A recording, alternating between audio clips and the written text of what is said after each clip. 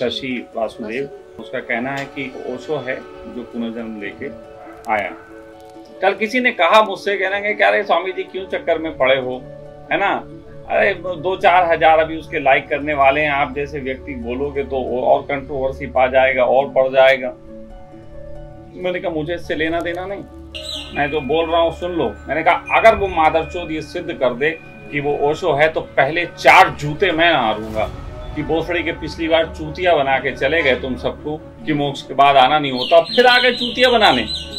जो कल हमने वीडियो देखा, उसमें उसने कहा कि मैं मरने से पहले, दो महीने पहले, मुझे ये लगा कि मैंने अपने सन्यासियों से कहा है कि मैं एक बार और आ सकता हूँ। क्यों ना मैं एक जन्म और ले, ये उसका स्टेटमेंट है है ना? अब इस पे थोड़ा सा मेरा एक संदेह। मैं इस पे संदेह उठा रहा हूँ टेक्निकल संदेह है, और मैं ये बता देता हूँ कि मित्र ओशो, मुझे कोई आपत्ति नहीं है कि तुम हो या नहीं, पहली बात। ये बात पक्की है तुम सिद्ध कर दो कि तुम ओशो तब भी मैं तुम्हारे पैर छूने नहीं आ रहा लेकिन तब मुझे एक चीज़ का बड़ा मज़ा आएगा जिसका मज़ा आज तक नहीं आया। तो एक बार किसी ने मुझसे कहा था कि ओशो के भी बाप हैं आप आठ सितंबर को आपका जन्म हुआ। तो मेरा थोड़ा सा काला ऊँचा हो जाता है ऐसे कहते हुए। फ़िलहाल मेरे पुत्र तक मेरा संदेश पहुँचा दो कि उसका बाप जो है उसे पुकार रहा है उससे बातचीत करने के लिए।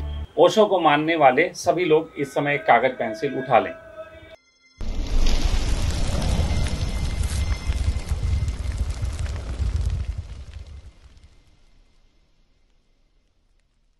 तो सबसे पहले हम लोग यहाँ जिस चर्चा के लिए आज उपस्थित हुए हैं, उसकी बात कर लेते हैं।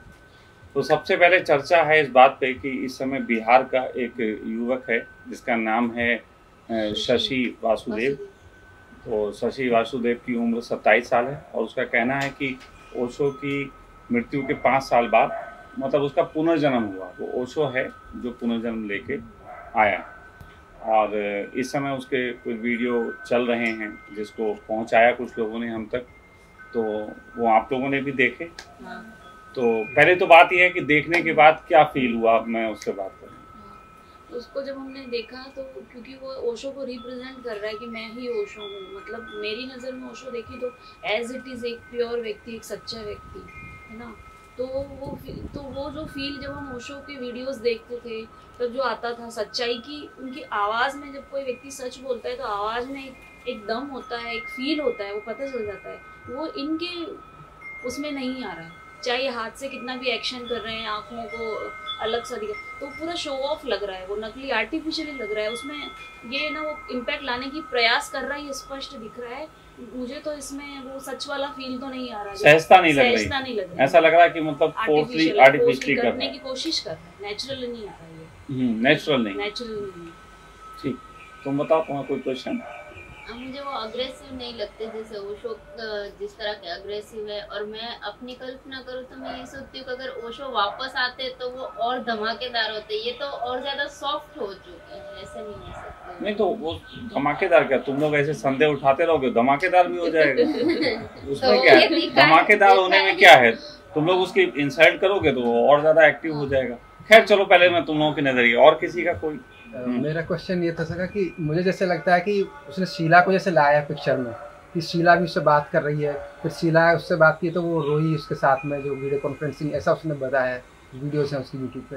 तो वो मतलब एक तरीके से उसके पक्ष में जा रहा है कि क्या ये वाकई वही तो नहीं क्योंकि शीला तो खुद ओशो के साथ रही तो उससे तो चूक होने के चांस कम है। तो हम्म। इस पे थोड़ा सा बताएँ कि कैसे बताएँ कि हमने शीला से तो बात की नहीं। अब शीला का वीडियो जितना दिख रहा है उसमें तो ऐसा लग रहा है वैसे कुछ कर रही है। तो बीच में नाक भी तो पहुँच सकती। रोने का भी क्या है? भाई मुझे पता नहीं है। मैं उस वीडियो को पूरा देखा नहीं तो मैं उस पर कुछ ज़्यादा टिप्पणी नहीं कर सकता। वैसे भी उसमें दोनों की वॉइस थोड़ी ना है। हाँ। देखो मेन चीज़ ये है हम आखिर बात करने क्यों बैठे हैं इसके ऊपर? पहली बात तो ये है कि बहुत से लोग होंगे जो पहली दृष्टि में उसको नकार कर देंगे। बहुत से लोग होंगे तो उसको स्वीकार भी कर देंगे। लेकिन मेरा मानना है दोनों ही कहीं ना कहीं कुछ गलतियाँ हैं। स्वीकार कर लेने में भी गलती है कि आप पुरुषों को उसको स्वीकार कर लेते हैं क्योंकि वो वैसी भावभंगिमा है।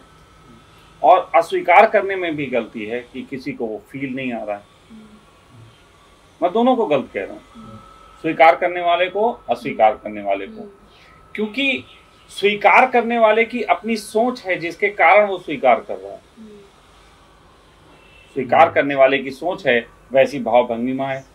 तो यही तो हुआ है धर्मों में आज तक हुआ क्या है? यही तो हुआ हमने कहा बुद्ध जैसे बैठते थे वैसे कोई बैठने लगा तो बुद्ध हो गया।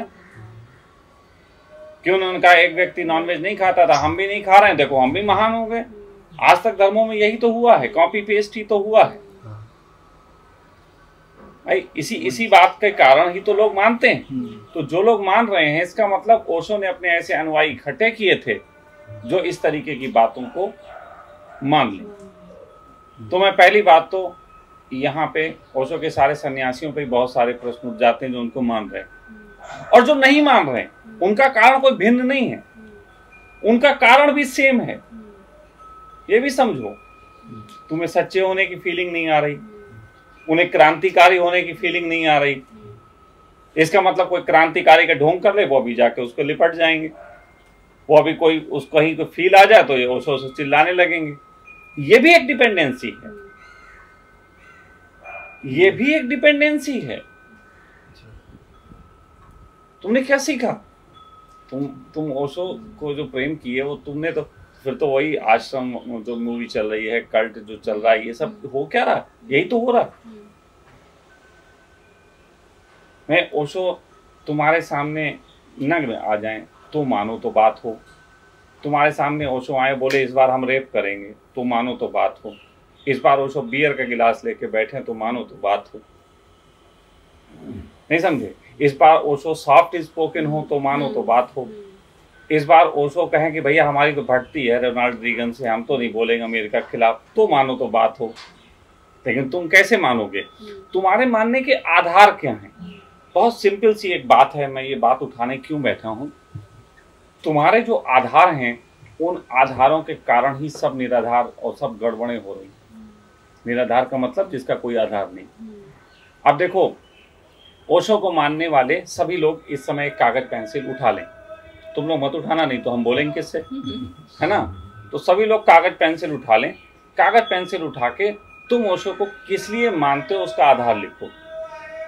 ओशो को किस लिए मानते हो?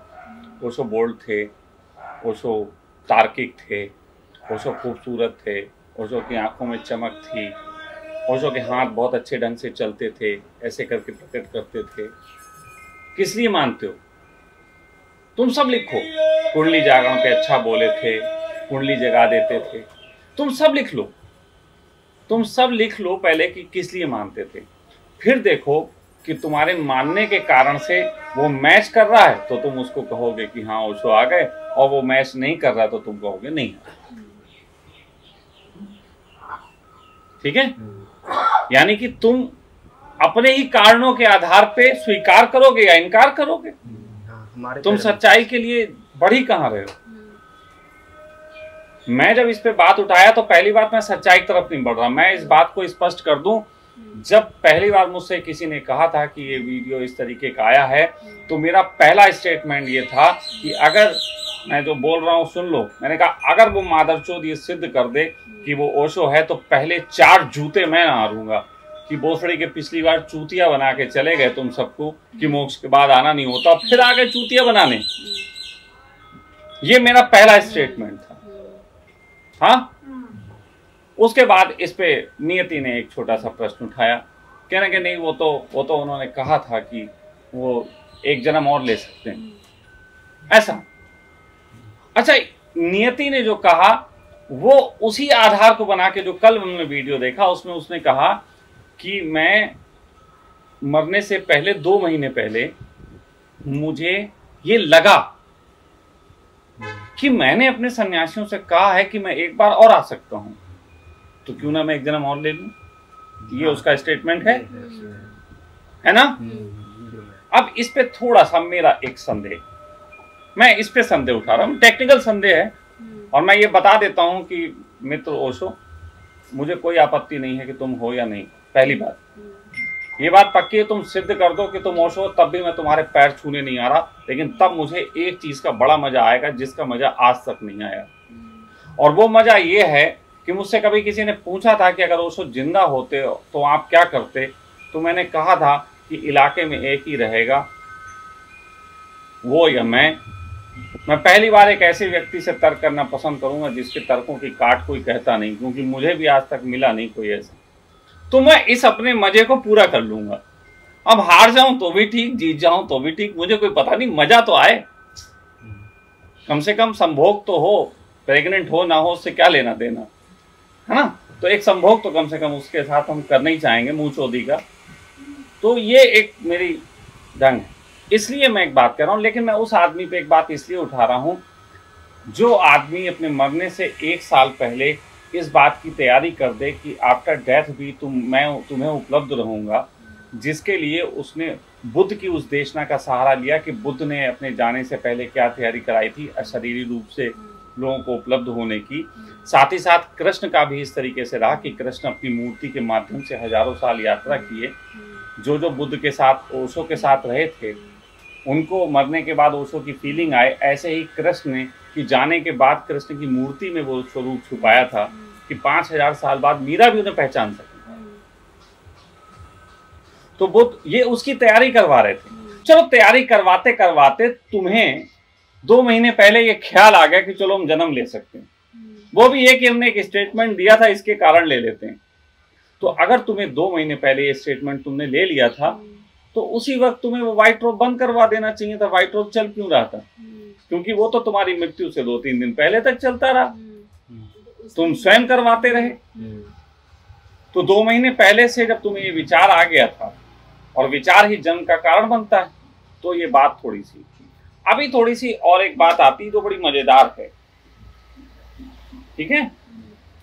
मैंने अपने इसमें लेक्चर्स में कई बार कहा है मैंने कहा है कि अगर ओशो ज़िंदा होते तो बहुत सी चीज़ों पे काम कर रहे होते जिसमें सर्वाधिक बात है ओशो के भटके सन्यासी। इस पे वो बहुत बोलते कि कहाँ कहाँ भटक गए सन्यासी। कहा? ये मैंने कहा था ना? हाँ, मेरा तो इस पे हाँ, वीडियो हाँ, कई साल हाँ, पुराना हाँ, उपलब्ध है कि ओशो के भटके सन्यासी। अब उसी पे मैंने एक छोटा सा इसका और वीडियो देखा जिसमें वो बोल रहा है कि अब मैं आया हूँ तो माथे पे हाथ रख के कुंडली जागरण कर रहे हैं इन सब की पोल खोलने इन सबको हम्म, सिखाने की ये कर क्या रहे हो। हम्म, अच्छा लगा मुझे सुन के सच बताएँ अच्छा लगा।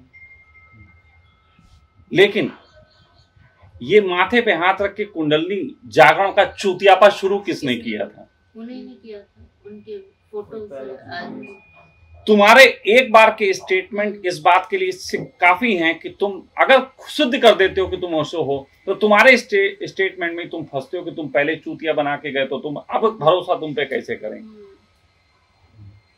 अब भरोसा कैसे करें?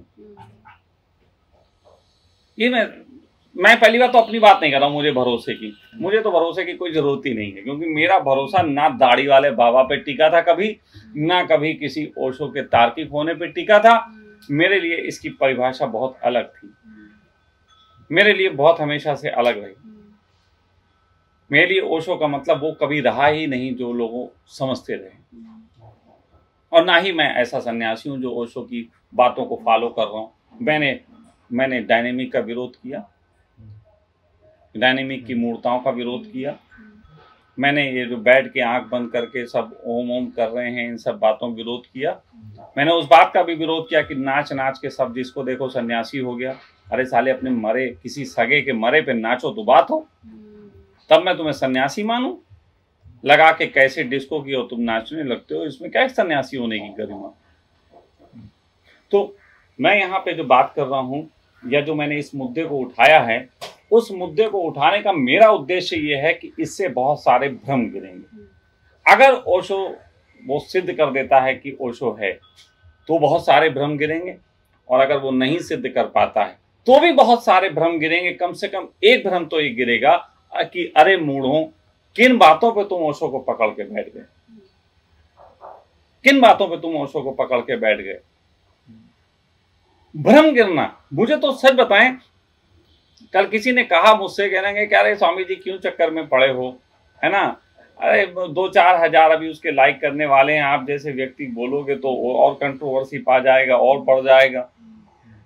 मैंने कहा, मुझे इससे लेना देना नहीं।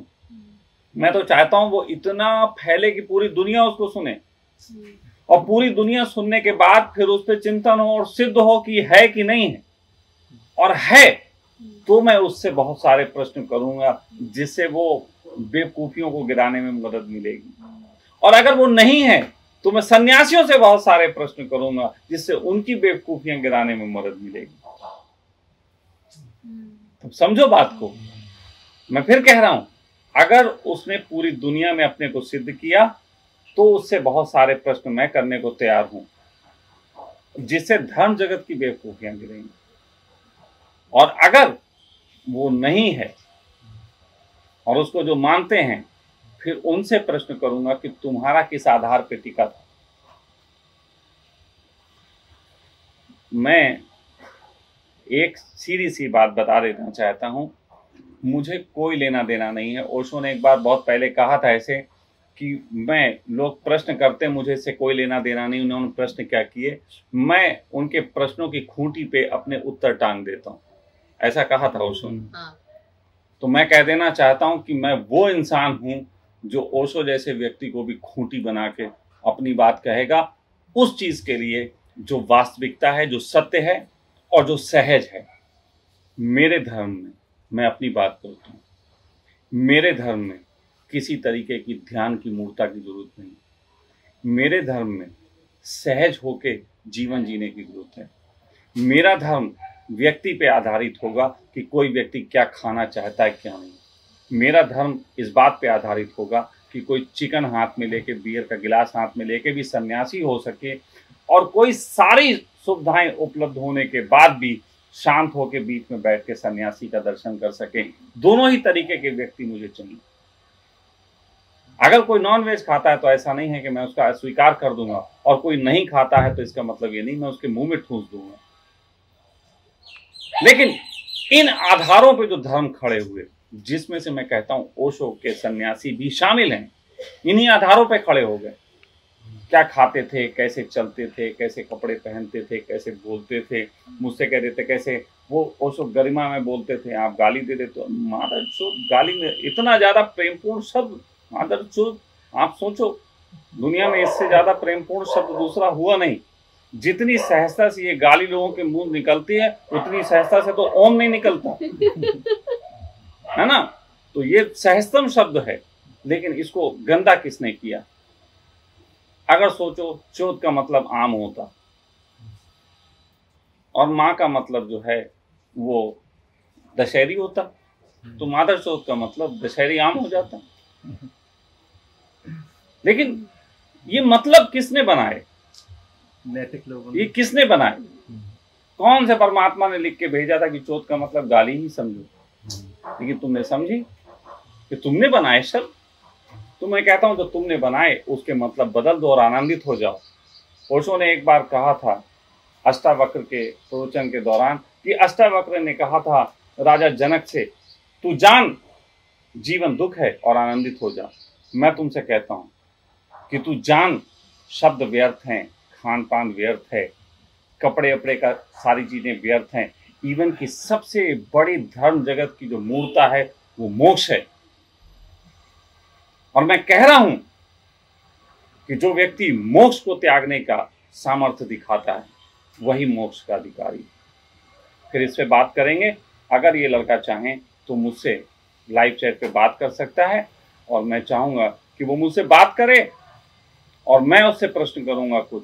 जिसके वो उत्तर दे। और मैं ऐसे प्रश्न करूँगा, जिससे वो लड़का अगर वास्तविक है तो दुनिया के सामने आए कि हाँ ये ओशो है। और अगर ये भ्रम में है तो उसके भ्रम गिराने में उसका सहयोग करूँगा, ताकि वो सहज जीवन जी सके और उसको सखा परिवार में रहने के लिए आमंत्रित करूँगा कि कुछ दिन रह के उसे हम ज़िंदगी की मूर्ताओं से बाहर लाने में काम कर सकें। मेरे दोनों प्रयास रहेंगे। तो फ़िलहाल आज जो है इतना ही। ये संदेश जो है, वो लोगों तक पहुँचना चाहिए। और ऐसे ही जब बात चली है, अब सच है, झूठ है, इस पर तो चर्चाएँ बहुत होंगी। तो ऐसे मैं कह देता हूँ, मेरा आठ सितंबर को जन्म हुआ था। जिस दिन ओशो के पिता की मृत्यु हुई थी। तो एक बार किसी ने मुझसे कहा था कि आप ओशो के बाप जैसे लगते हैं। ओशो के भी बाप हैं आप। आठ सितंबर को आपका जन्म हुआ। तो मेरा थोड़ा सा कालर ऊँचा हो जाता है ऐसे कहते हुए। तो कोई ऐसी दिक्कत नहीं है। फ़िलहाल मेरे पुत्र तक मेरा संदेश पहुँचा दो कि उसका बाप जो है उसे पुकार रहा है उससे बातचीत करने के लिए। और अगर वो मुझसे बातचीत करने को तैयार है और वास्तव में मेरा पुत्र है तो मैं चाहूँगा मेरा पुत्र फिर से एक बड़ा आश्रम बनाए जिसमें मैं ये कह के कि मेरे पुत्र ने आश्रम बनाया थोड़े दिन विचरण कर सकूँ। प्रणाम।